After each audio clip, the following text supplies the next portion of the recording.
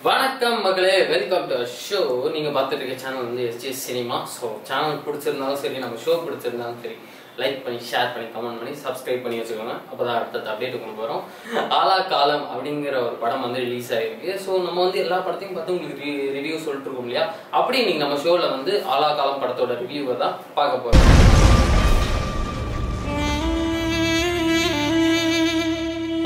காலம் ஃபர்ஸ்ட் படத்தோட டைட்டிலை பத்தி பார்த்துடலாம். ஆலா காலம்னா என்னன்றது பல பேருக்கு வந்து டவுட்டாவே இருக்கும். ஆலா காலம்னா ஒரு விஷம். அது வந்து சிவன் கையில இருக்கக்கூடிய ஒரு விஷம் அப்படின்னு வந்து சொல்லுவாங்க. நம்ம கூட நிறைய போஸ்டர்லாம் பார்த்துருப்போம் இல்லையா? சிவன் கையில இருந்து அப்படியே வந்து ஒரு ப்ளூ கலர் விஷம் வந்து போகும். அதுதான் வந்து ஆலா காலம் விஷம் அப்படின்னு வந்து சொல்லுவாங்க. அதை வந்து டைட்டிலா வந்து வச்சிருக்காங்க. ஏன் அதை டைட்டிலா வச்சிருக்காங்க அப்படின்னு நீங்க எல்லாருமே யோசிப்பீங்க. இதுலயும் ஒரு அதான் குடிப்பழக்கத்துக்காக அடிமையா இருக்காங்க. ஸோ அந்த குடிங்கிறது ஒரு விஷம் தானே அது நம்ம வாழ்க்கையில எந்த அளவுக்கு ஒரு விஷமா இருக்கு அப்படிங்கறது தான் படம் ஃபுல்லா வந்து சொல்லியிருக்காங்க. ஸோ படத்தோட கதையை பத்தி பார்த்தோம் அப்படின்னா ஒரு அம்மா ஒரு பையன் ஹீரோட அப்பா வந்து குடிப்பழக்கத்துக்கு அடிமை அதாவது கள்ளசாராயம்னு இருந்தது இல்லையா? அதுக்கு அடிமையாகி இறந்து போன ஒருத்தவரை அவரை அவரை மாதிரி நம்ம பையன் வளர்ந்துடக்கூடாது அப்படின்றதுக்காக அம்மா என்ன பண்றாங்கன்னா இந்த குடிமக்கள் இந்த குடிச்சிட்டு வரவங்க இவங்கெல்லாம் எதிர்க்க வந்தாலே தான் பையனை மறைச்சிக்கிட்டு அப்படி அப்படி கூப்பிட்டு போற ஒரு அம்மா. அந்த அளவுக்கு குடியை பற்றினும் எந்த ஒரு அதாவது குடிங்கிற வார்த்தை கூட அவன் காதில் படாமல் வளர்க்கிற ஒரு அம்மா. ஸோ இவன் இப்போ இங்கே படிச்சு ஒரு பெரிய ஆளாக ஆவானா மாட்டான் அப்படிங்கிறது தான் ஒரு கதையோட சுவாரஸ்யமாவே இருக்கு. அப்படி இருக்கும்போது இவன் வந்து இங்க பிளஸ் டூல வந்து ஒரு நல்ல மார்க் எடுத்துட்டு ஒரு பெரிய காலேஜில் வந்து மெரிட்டில் வந்து சீட்டு கிடைக்குது. அங்க போய் சேர்றான்.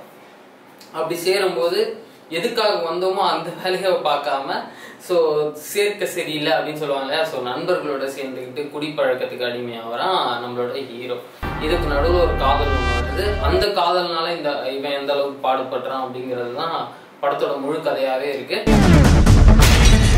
ஒரு குடிப்பழக்கத்துக்கு அடிமையானானா அவனோட வாழ்க்கை எந்த அளவுக்கு இருக்குமோ அந்த அளவுக்கு ரொம்ப யதார்த்தமா சொல்லியிருக்காங்க படத்துல. அதை அதை கரெக்டாக கரெக்டா சொல்லிட்டாங்களா அப்படின்னு கேட்டோம்னா கண்டிப்பா கொஞ்சம் அங்கங்க தவறு விட்டுருக்காங்க அப்படின்னு தான் சொல்லணும். ஏன்னா படத்தில் படத்துல வரக்கூடிய எல்லா கேரக்டர்ஸ்க்குமே வந்து ஒரு ஒரு டெஃபினேஷன் இருக்கு. இங்க ஆரம்பிச்சு இங்க முடியணும் அப்படின்னு ஒரு டெஃபினேஷன் இருக்கணும் இல்லையா? அது எதுவுமே இங்க கிடையாது.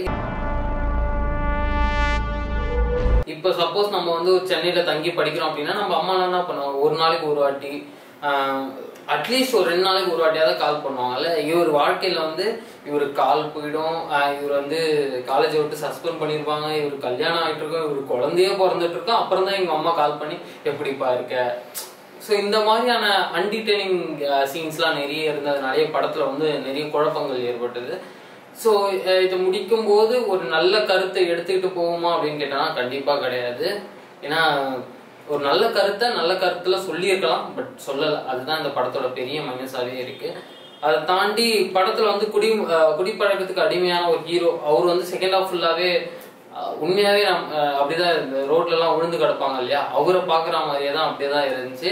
பட் அவரே காலேஜ் ஸ்டூடெண்ட்டாகவும் நடிச்சிருக்கிறது தான் ஹார்ட் அட்டாக்கை ஏற்படுத்தியது. அதை தாண்டி அவர் ஸ்கூல் ஸ்டூடெண்டாகவும் வந்திருக்காரு. அது அது என்ன சொல்றது தெரியல. பட் அவருக்கு இந்த போர்ஷன் வந்து கொஞ்சம் செட் ஆச்சு. அதுக்கெல்லாம் யாராவது சின்ன பையன் ஒரு ஜூனியர் ஆர்டிஸ்டாவே எடுத்திருக்கலாம். என்னத்த சொல்றது? ஸோ அதை தாண்டி படத்துல வந்து நிறைய நல்ல விஷயங்கள் இருக்கு. ஒரு நல்ல சோஷியல் மெசேஜ் இருக்கு. பட் படமா கொஞ்சம் பார்க்க தான் கொஞ்சம் காண்டடிக்குது. அதை தாண்டி இந்த படம் ஒரு ஓகேவான படம் தான் இந்த வீக்கெண்டுக்கு அரசியல் கட்சிகளும் பார்த்தீங்கன்னா வந்து இந்த மது ஒழிப்பு அப்படிங்கிறது தான் முன்னதாக வச்சு பேசுவாங்க. எல்லா எல்லா இதுலேயும் சரி எல்லா பேட்டிகள்லையும் சரி. அதுக்கு இந்த படம் வந்து ஒரு மாதிரி பயங்கர எக்ஸாம்பிளாகவே கொடுத்துருக்காங்க. ஸோ அதுதான் வந்து சோசியல் மெசேஜாகவே இருக்கு. படம் ஃபுல்லாகவே மது வந்து எந்த அளவுக்கு ஒரு வாழ் ஒருத்தனோட வாழ்க்கையை சிதைக்கும் அப்படிங்கிறத கண்ணு முன்னாடி வந்து காமிச்சிருக்காங்க. நம்மளோட டேரக்டரும் சரி ஹீரோவும் சரி ஒரு ரெண்டு பேருமே ஒன்று தான் ஸோ அவங்களும் சரி எல்லாருமே பயங்கரமாக காமிச்சிருக்காங்க. ஸோ குட்டி நாட்டுக்கும் வீட்டுக்கும் கேடு. எலெக்ஷன் வரும்போது மட்டும் சொல்கிறேன்னு நினைக்காதீங்க. எல்லா டைம்லேயும் தான் சொல்லுவேன். ஸோ குடிக்காதீங்க. குடி பழக்கத்துக்கு அடிமையாவாதீங்க.